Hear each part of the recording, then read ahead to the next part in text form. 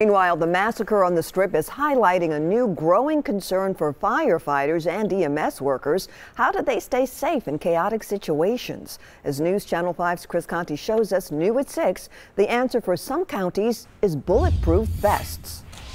For Sumner County, it wasn't one call or one incident that made them look into bulletproof vests. Instead, it was a simple acceptance of the fact that the new norm now puts them in harm's way more often.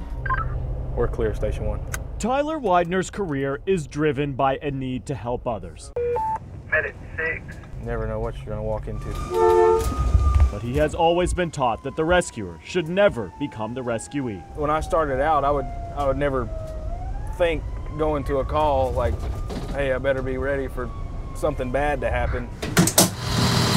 The reality for Tyler and his partner Corey Klein these days, though, Are you having any difficulty breathing right now? Yeah. is that even a mundane call like this person who burned themselves could end up with them in danger. The Las Vegas shootings, they're heavy on everybody's minds right now. Long before Vegas, Sumner County EMS saw a disturbing trend. More and more situations where firefighters, paramedics were put in harm's way. It's your vital areas, it's your vital organs. Because of that, Sam Clark made a push. 10 years ago, it was never, it was never mentioned.